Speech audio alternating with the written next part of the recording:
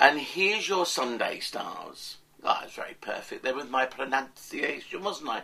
Um, I think my mind was somewhere else, distracted as Aquarians can be, because I was thinking that this is such a marvellous time potentially for you. Did you look at your stars for 2008 again, like I told you yesterday? There is so much going to go on creatively and securing your heart's desire. The, the little things along the way are like daily kind of either tributes or trials and tribulations. I think today you just need to be aware that home and domestic matters could be topsy-turvy. And it is therefore not a good time to roar too much, to beat your chest, to be a bully, to stamp your feet or use your ego. No. To be headstrong now would alienate too many people.